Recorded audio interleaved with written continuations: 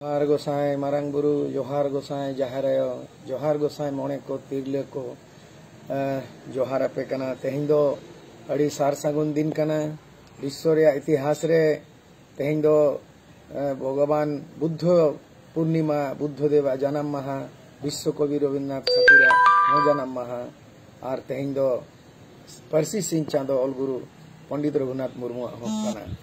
पहिलो ते दो ऑल गुरु परसी सिंह चांदो पंडित रघुनाथ मुर्मू इन जोहार उहर तीन जोहार उनिया प्रेरणा काते गे तेहिया जनम महात्रे गोड जोहार डबो जोहार आर ओना प्रेरणा तेगे ओलचिकी रिन जन्मदाता ओना ओलजिकी तेगे ते संताल जेगेत बिरदगार अर्थात संताल विश्वविद्यालय संताल यूनिवर्सिटी तामपड़ा रे लेदारे थापना कना उनिया आदर्श मनाव काते पंडित रघुनाथ मुर्मू मेन कादा जे जुमित गे दाड़े और दाड़े गे धन, और मेकदा जे ऑल मे तमा, रोड मे तमा, धर्म मे तमा आमो मे ऑल ए मात ले रे रोड ए ले रे धर्म ए मात रे आमो मादो मा तेहिया जन्म महात पंडित रघुनाथ मुर्मू आ जन्म महित रे साय साय जोहार, आर डब जोहार आम ठेन आशीष हतावया।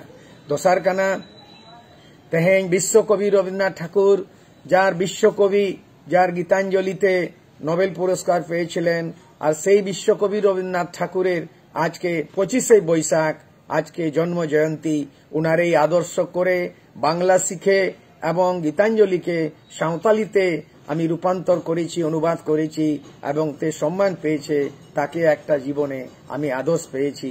রবীন্দ্রনাথ ঠাকুর বলেছেন, একলা চলো রে, যদি তোর ডাক শুনে, কেউ না আসে রে, তবে তুই একলা চলো একলা চলো রে।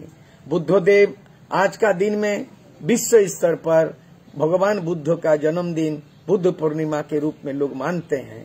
बुद्धदेव के बारे में कहा जाता है कि बुद्धम शरणं गच्छामि, मैं बुद्ध के शरण में जा रहा हूँ। इन्हीं शब्दों के साथ इन तीनों तीनों महापुरुषों को, तीनों भगवान देवता तुल्य आदर्श पुरुष के रूप में आज संकल्प लेते हुए सबको जोहार, सबको नमन, सबको प्रणाम।